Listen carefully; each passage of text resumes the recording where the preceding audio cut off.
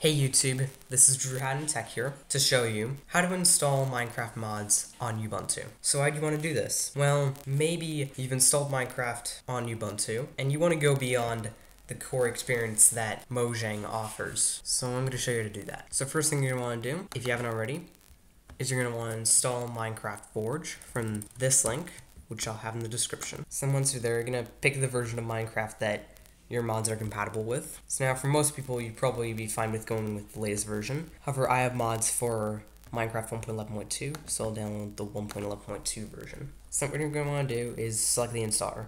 Not the Windows installer, not the Universal, just the installer. And you're going to click on the recommended download. Okay, so now you're going to wait as long as it wants you to wait and then click skip, and then you're gonna save the file. So now I've already downloaded that file. I'm gonna right here in my downloads folder. What you're gonna wanna do is I'm gonna right click, go to properties, permissions, and then check off allow executing file as a program. And then you're gonna double click on it, and then you're just gonna click OK. I'll go ahead and install Minecraft Forge.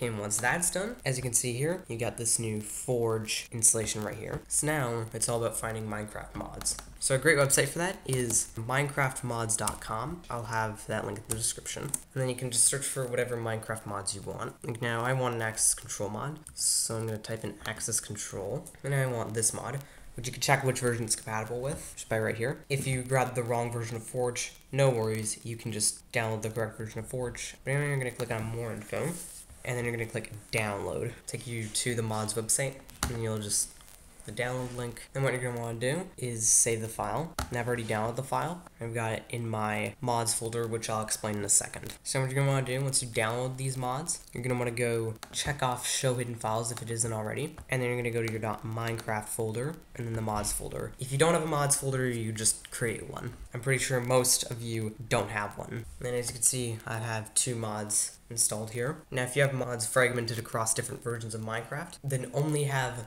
the mods that are compatible with the version of Minecraft that you're playing in the mods folder. Otherwise, Forge will just say some mods are incompatible and it just won't let you play. And then once you get your mods installed, all you have to do is just launch it with the Forge version. And there you go, launch Minecraft with your mods. Now, just as a warning, there are a lot of servers out there that have rules as to what mods you can run, or that even have rules saying that you cannot run mods at all.